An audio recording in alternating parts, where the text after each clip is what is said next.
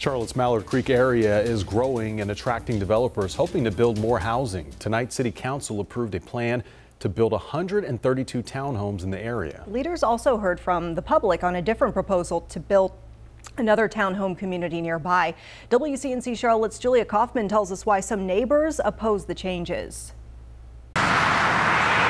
Traffic and growth are inevitable on Mallard Creek Road.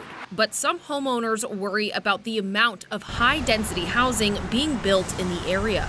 Inconsistent and irresponsible growth. At Monday's city council meeting, dozens of people came out to speak against Appaloosa Real Estate's proposal to build 186 for sale townhomes on Mallard Creek and Galloway roads. And it significantly impacts the landscape that we have, the environment, the size of the lots, and the, uh, the community standards, are essentially the aesthetics of the community. Homeowners worry the project doesn't fit in the surrounding single family home neighborhood and could worsen traffic. By bringing hundreds of more drivers, to that same area, I feel like it's going to make it even more dangerous. Less than a mile down the road, the same developer was just approved to build 132 townhomes. When you zoom out a little further, you'll see that this area is not primarily single family residential. Appaloosa's representative argues the projects are similar, so if one was approved, the other should be too. In both proposals, the developer changed its plans from rentals to for sale housing as a compromise, but homeowners say it's not enough. I ask you, would you want that